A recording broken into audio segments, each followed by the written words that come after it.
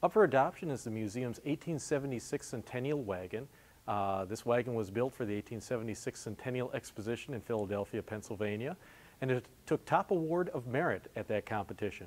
Studebaker exhibited this vehicle in 1878 in Paris and numerous other fairs and expositions over the next few years.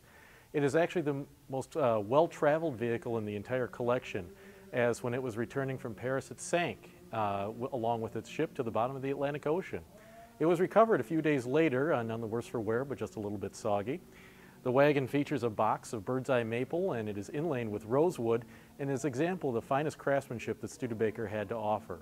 If you'd like to adopt the Centennial wagon, and we'd love to have you do that, please contact Abby Huff at the museum.